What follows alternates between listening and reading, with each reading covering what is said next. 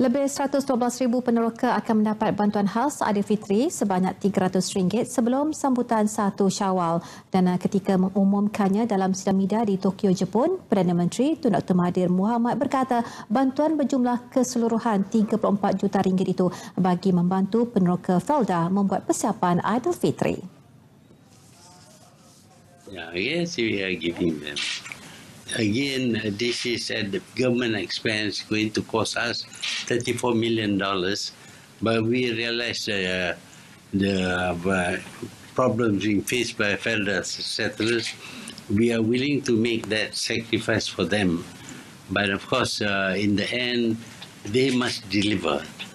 They have to work hard. They don't. Uh, they should not uh, take fruit from trees which they didn't plant. Tun Dr. Mahathir juga mengingatkan peneroka Felda agar tidak menjual buah kelapa sawit kepada perai lain yang tidak diiktiraf semata-mata demi mengaut keuntungan lebih.